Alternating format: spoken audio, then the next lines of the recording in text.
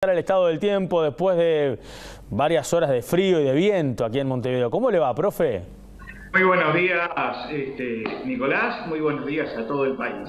Bueno, Nicolás, hay que seguir abrigado. Tenemos una masa de aire polar que cubre el territorio nacional asociado a un sistema de alta presión que conlleva a estabilidad atmosférica. ¿Cómo se va a comportar el tiempo de ahora en más en las próximas jornadas sobre nuestro país? Vamos a la placa del pronóstico extendido, donde vemos que en la región norte del territorio nacional las temperaturas se situarán para el día de mañana jueves 16 grados la máxima, 5 la mínima con heladas agrometeorológicas, nubosidad variable.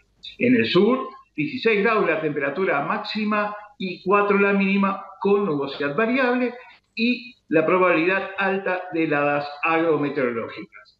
En Montevideo las temperaturas se mantendrán entre 17 grados la máxima y una mínima de 9 grados. Bajas sensaciones térmicas en todo el territorio nacional.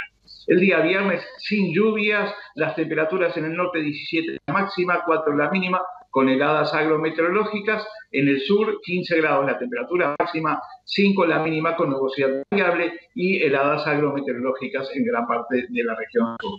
El día sábado, sin precipitaciones en todo el territorio nacional, las temperaturas tienden a ascender levemente, máxima en el norte 20 grados, 7 la mínima con cielos nubosos, aquí en el sur 17 grados la temperatura máxima y 8 la mínima con nubosidad variable. Así que, Nicolás, abrigarse bien, bajas sensaciones térmicas y un buen plato de sopa no viene mal a nadie. Esta es la situación. Muy bien, profe. Eh, ahora, hace frío y usted se sacó el saco. Póngase el saco, por favor, no se desabrigue. Es la juventud. Gracias, profesor. Que pase bien. Buenas noches. A, ah, mejor dicho, lo esperamos en la noche. A las 19 volvemos con las noticias. Rosario Rodríguez y Miguel Noeira estarán aquí para la edición central. Que pasen bien. Buenas tardes.